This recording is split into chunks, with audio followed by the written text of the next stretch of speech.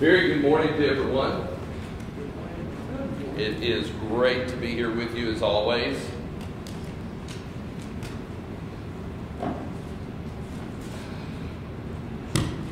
I would I would say something about how, how you might have missed me last week while I was on vacation. But as I hear the story, you're kind of glad I didn't I wasn't here. Is your mic off? No, it's not.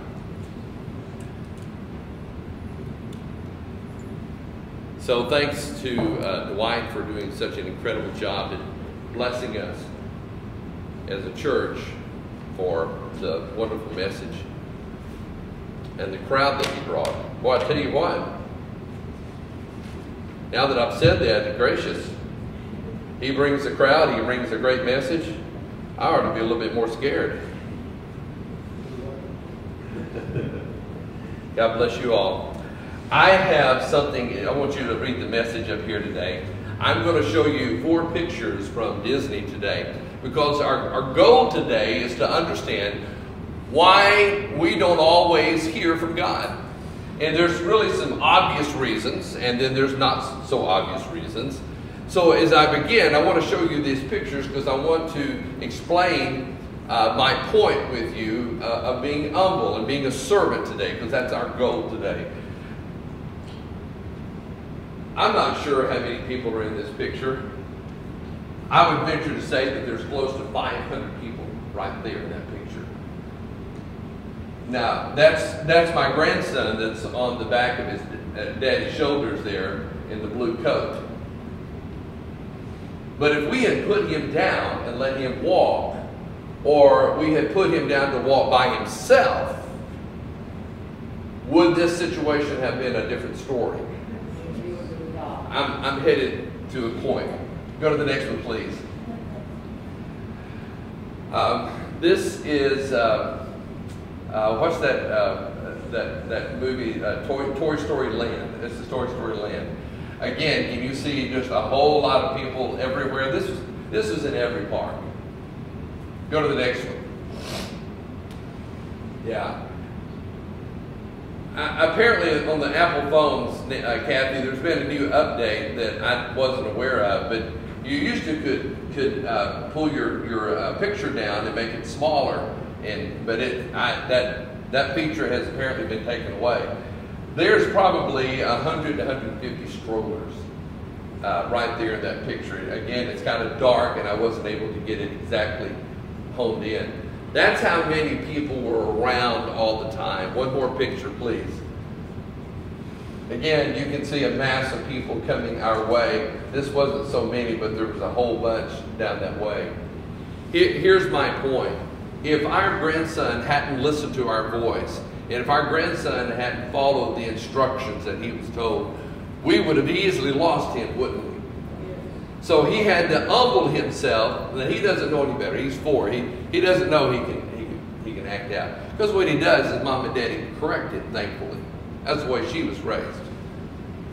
So if he hadn't followed instructions, if he hadn't humbled himself and put himself under authority, we would easily have lost him in the crowd. All we would have had to do is take our eyes off of him for a moment. And here's the point that I'd like you to make with me. If you don't have your Bibles, we're going to put Philippians 2 up on the screen for you, but if you can go there, this is a little longer passage. It's a very familiar passage once, you, once we start reading it. Philippians 2, 1 through 18, those 18 verses I'd like to share with you. As, and this is a model, frankly, of being a servant of God and practicing humility with Christ. So we're really going to focus on this. I have a short sermon for you today, so don't get don't be thinking about the roast at home because I've got something to share with you today. Let's begin with verse 1, chapter 2 of Philippians. Therefore, if there be any encouragement in Christ, if there be any fellowship of the Spirit, if there be any uh, consolation of love, if there be any fellowship of the Spirit, there any affection of compassion, make my joy complete by being in the same mind, maintaining the same love, united in spirit, intent on one purpose. Do nothing from selfishness or empty or empty conceit, but with the humility of the mind regard one another. Did you hear that? With the humility of mind, regard one another as more important than yourself. Do not merely look out for your own personal interests, but also for the interests of others. Have this attitude in yourselves, which was also in Christ Jesus, who, although he existed from the form of God, in the form of God, did not regard equality with God a thing to be grasped, but emptied himself, taking the form of a bondservant, and being made in the likeness of men. Being found in appearance as a man, he humbled himself by becoming obedient to the point of death, even death on the cross. For this reason also God highly exalted him and bestowed on him the name which is above every name. So at the name of Jesus, every knee will bow of those who are in heaven and on earth and under the earth, and that every tongue will confess that Jesus Christ is Lord to the glory of God the Father. So then, my beloved, just as you have always obeyed, not as in my presence only, but now much more in my absence, work out your salvation with fear and trembling. For it is God who is at work in you, both to will and to work for his good pleasure. Do all things without grumbling or disputing, so that you may prove yourselves to be blameless and innocent children of God above reproach, in the midst of a crooked and perverse generation, among whom you appear as lights in the world, holding fast the word of the life, so that in the day of Christ I will have reason to glory, because I did not run in vain, nor toil in vain. Or even if I am being poured out as a drink offering upon the sacrifice and the service of your faith, I rejoice and share my joy with you all.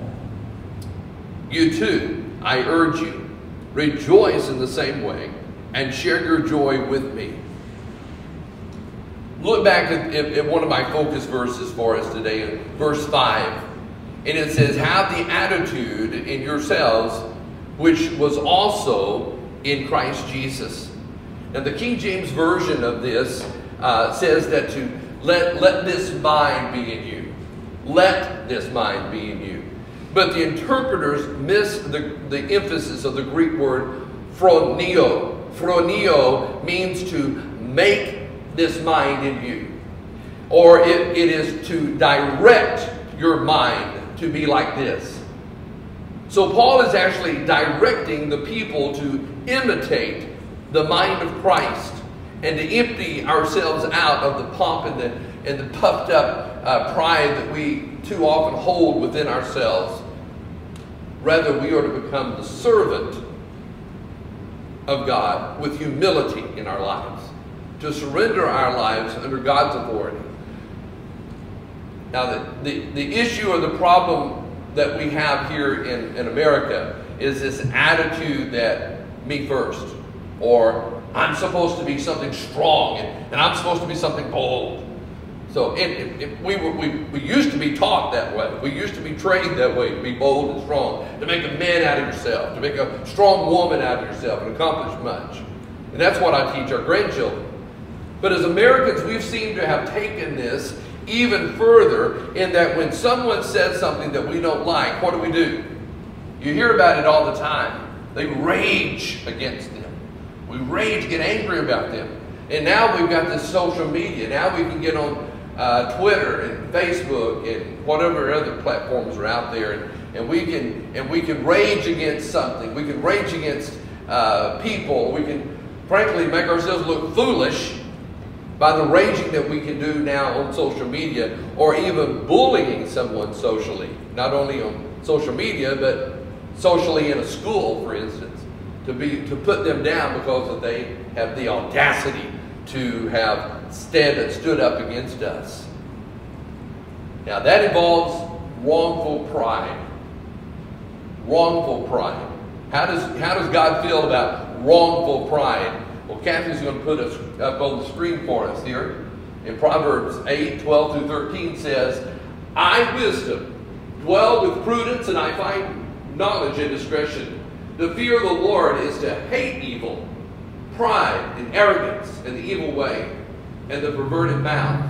I hate. Go to Proverbs 16, 17, 19 for us, Kathy. Look at this one. The highway of the upright is to depart from evil. He who watches his way preserves his life. Pride goes before destruction, and a haughty spirit before stumbling. It is better to be humble in spirit with the lowly than to divide the spoil with the pride. Also, we have uh, Proverbs 16 24 through 25. This is what God wants. Pleasant words are a honeycomb, sweet to the soul and healing to the bones. There is a way which seems right to a man, but it ends in the way of death. So God wants us to, to put good words out there, to put honest words out there, to put honorable words out there so that we are like Christ. Now, I could keep on going and talk to you, show you the words that Jesus shared in the Beatitudes, and how he put a towel around himself and washed the feet of the disciples. But surely you, you get my point at this, at this, at this. Fountains of truth don't come from a spirit. Listen, you see it on the screen. Fountains of truth don't come from a spirit or a heart or a mouth that spews anger, bitterness, and noise that sounds like and looks like the world. God has to spend time correcting that attitude and inappropriateness before he can use the heart and mind of a Christian or to speak to them frankly. And that's the whole point of our series to hear from God, right? So it is better to not let our, our, our behavior and our thoughts get like the world. Or frankly, just, just that, that the worldly thoughts find a foothold in our minds.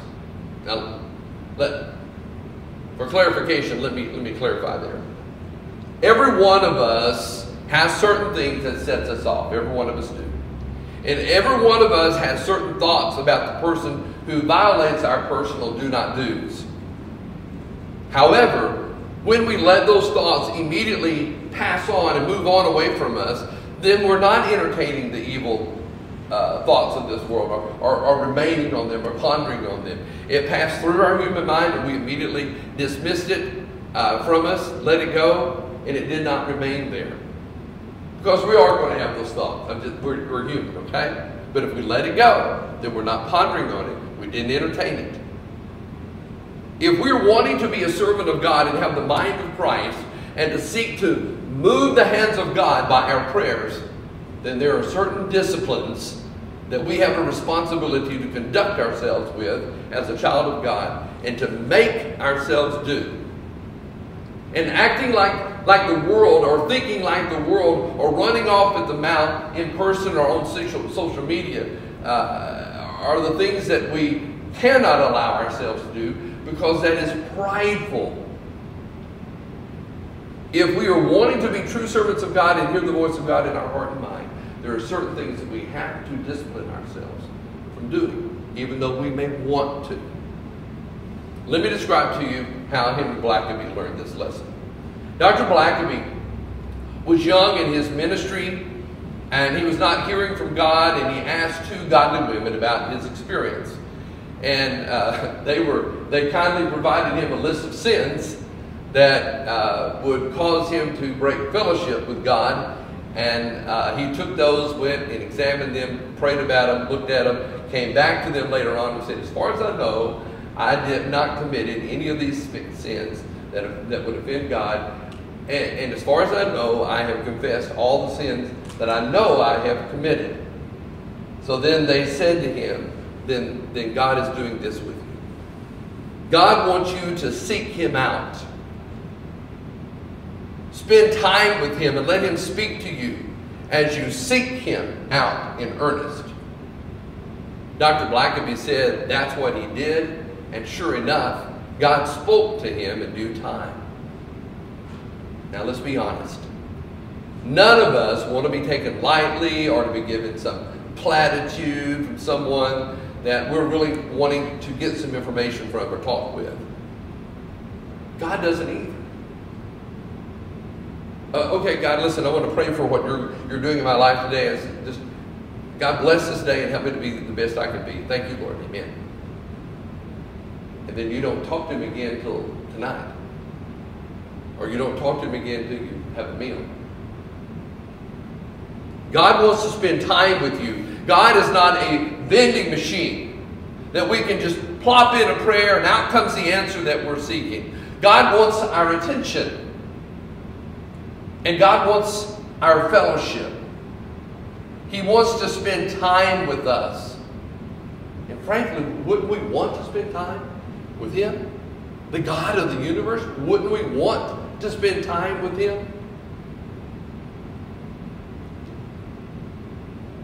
So this happens to me too often, frankly. Sometimes I have to force myself to slow down and experience God and have fellowship with Him rather than continuing to pray short prayers through the day and then having my devotion and, longer prayer time at night, which is my, my routine. He wants our fellowship and He wants our attention, and sometimes He has to get our attention by withholding what we are wanting Him to answer for us. Now, I, I'm going to put words in, in Lois's mouth. She's had to watch a sister go through cancer treatments. I'm going to put words in Sharon's mouth. She's watched a daughter in law linger in a coma.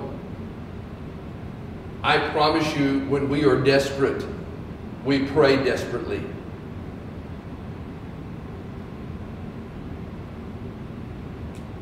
My point here is that you need to be in a relationship with God, in a, in a humble, loving relationship with God, so that when you do have to do that, God is going to be listening to you.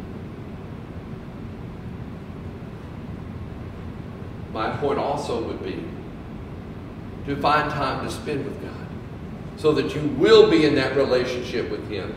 So that when you do desperately have to call upon Him and ask God for His in, in, his intervention in a circumstance, in a situation in your life, he is there quickly.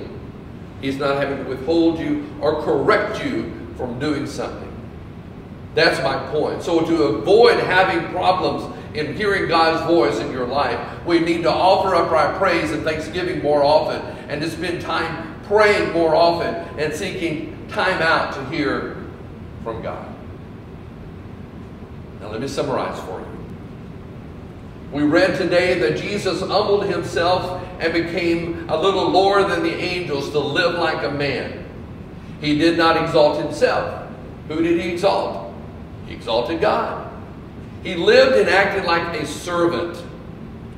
And he really gave the example and he taught his disciples and frankly gave us the, the example to teach us to be humble.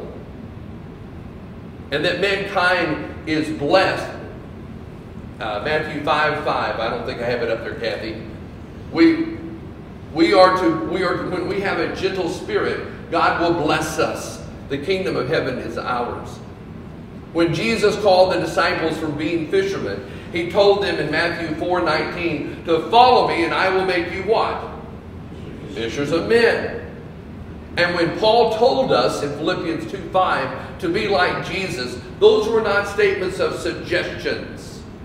They were a declarative statement to direct our lives in such a way that we are determined to accomplish that intent with our lives.